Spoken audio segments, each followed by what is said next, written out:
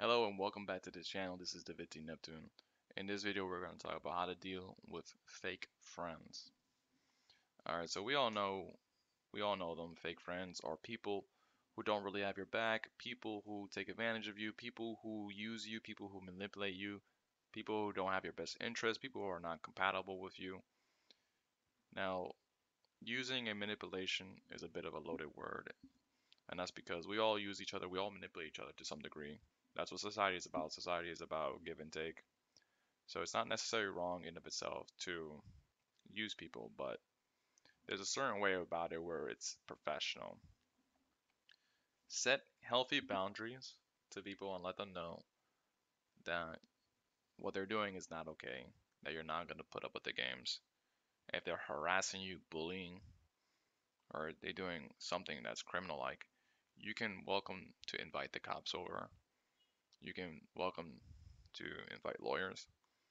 I am a big fan of be yourself, freedom of expression, but there's a point where harassment and bullying, emotional manipulation is involved, gaslighting is involved. These are more serious and criminal mis human misconduct. And when it gets that serious, these people need to know that it's not okay, it's not cool, it's not fun, it's not funny. I know on this channel I make it seem like, you know, um, you gotta, it's not really do or die, but people need to know that there are certain precaution. People must understand that when they are interacting with you, that you're not going to deal with the games, you're not going to deal with the harassment, bullying, or being put down in any type of way. They need to know that. And this is a, uh, an issue I had in the past. When I was younger, I probably thought that people should just do certain things and be respectful and be polite because I used to think about life a certain way where um, in a logical, fair-based society, people should just do certain things that just makes reasonable sense because this is what being a good person is. But my expectations and my standards crash down multiple times where people are not all playing the same game. People are not at the same place in their lives. And this is all just basic human nature because we are all animals and survival is number one. So before we get logical, survival is number one our instincts are way more in control over us than our logical faculties. The logical faculties is actually a weaker and smaller part of the brain, which is called the neocortex, which is the logical part of the brain. You can also ignore people. Ignoring will push people away from you.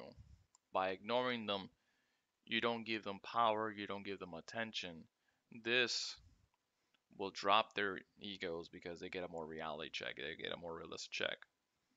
A lot of the kind of misconduct in socializing is has to do with expectation, should, selfishness behaviors. People think that people other people should do certain things. People think that other people should do certain things or this or that based on how they see life, based upon their own needs and wants, based upon their own desires. So other people should fulfill my desires in this type of way, which is not really how life works. In a in the adult world, in the real world, there is this kind of concept of trade and also networking where we conduct ourselves as professionals this way that we meet like-minded people and we do business in a fair about way again, people are all scattered and distributed in different kind of places in their lives. So people operate in a different kind of paradigm. So anything that I can say is filtered by how this person is operating or that person is operating. We all kind of different, but there's a lot of general truth statements here. All right, so I did say set healthy boundaries. You can call the cops, you can call the lawyers, you can ignore them. Set healthy boundaries. Say no. let them know that you are not going to be putting up with the games.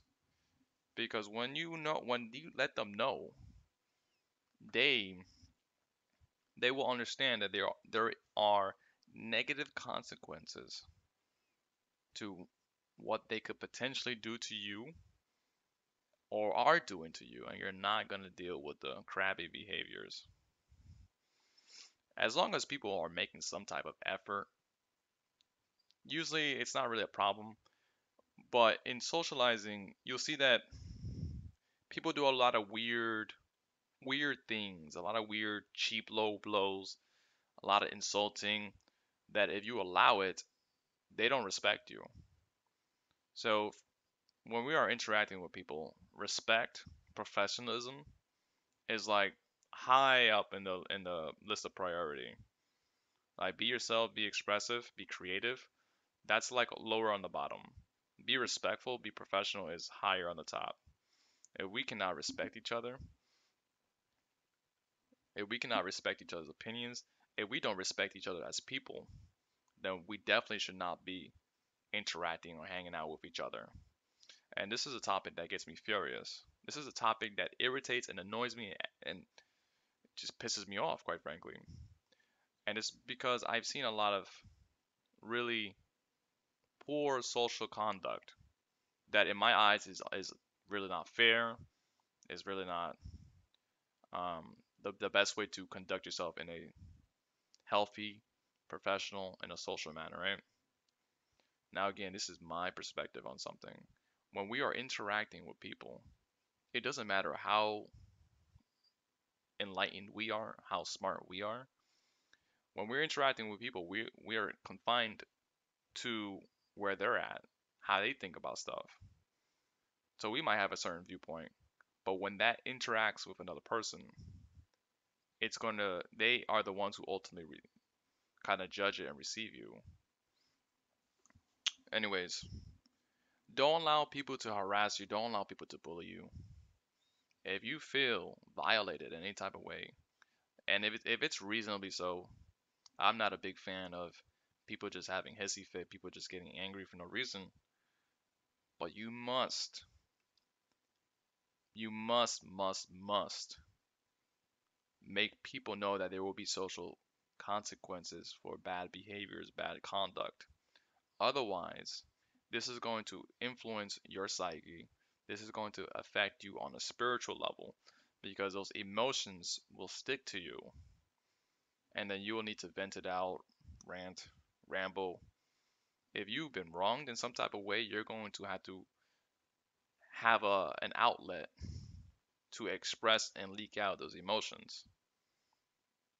And you know, this is a pretty big a pretty big thing. It's when we wrong each other and we wrong other people, we open a lot of doors for a lot of problems. All right.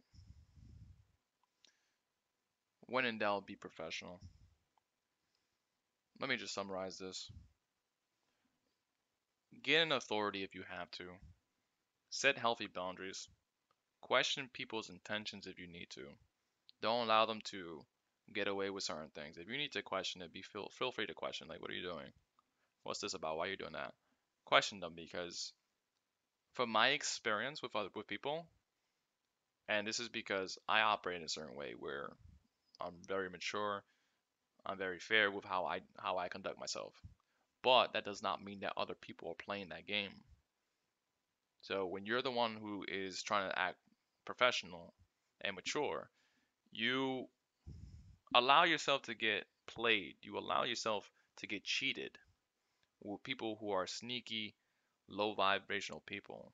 You open the doors to being exploited because you're trying to be fair and you're trying to operate in a mature way. Now, again, this is all personal, this is all subjective. But as a warning, just be careful with how you present yourself and how people are receiving you and then try to make that adjustment and try to see if people are trying to exploit you for their own selfish benefit to feed their ego because if that's the case Call them out on their crappy behaviors. Call them out on it. And if you guys don't have anything in common, if you and the other person can't find a common ground, a common interest, feel free to dismiss them. Feel free to let them go out of your life. Right? Because you don't owe no one anything. You don't owe no one any time. You don't owe them your money. You don't owe them energy. You don't owe them attention. You don't owe no one anything. I don't owe no one anything. You don't owe no one anything. I think that's all I want to say on this topic. Check me out on prosperitylife.com for more tips and strategies on how to win more life. And thank you for listening.